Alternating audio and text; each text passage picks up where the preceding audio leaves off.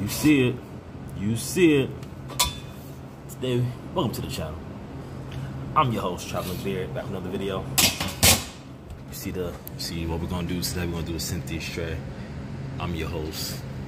Hostess with the most. We're gonna do a Synthes tray. I'm gonna show you the tray, show you what it looks like, show you how to disassemble it. It's rather easy. This tray is probably one of the most basic, easiest trays you will come across with Synthes. That said, let's get into it.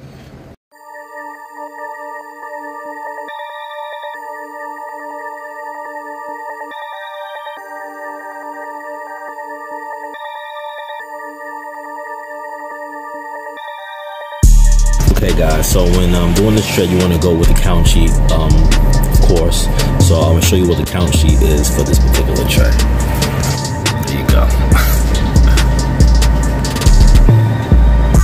Now that seen the count sheet, you see what I have to go through with this tray. So theoretically, when a count sheet is like that, you could actually put the tray up missing everything. But an experienced technician would most what most technicians will do, even with experience or without experience, you will just um, identify it with your manager, person in charge, just so they know that what is actually needed the most within a tray like this. So clearly, I know what's needed in this tray. Um, being that there's still no count sheet, um, you know that they need the basic items like depth gauges, uh, you know, things of that sort. So I'm you how to take apart certain things in the tray. Let's go.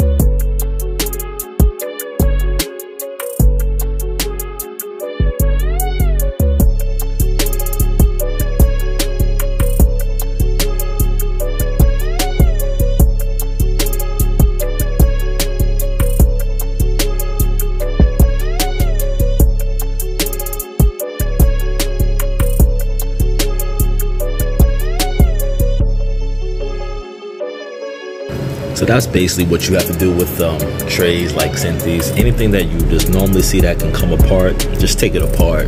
Most of the times, um, if in decontam they did it, it will be clean. But when it comes to the side, if you know that is dirty, send it back. But um, yeah, that's pretty much every Synthes tray. Just take everything apart, just visually inspect it, make sure that everything is bioburden free and that it is good to be processed.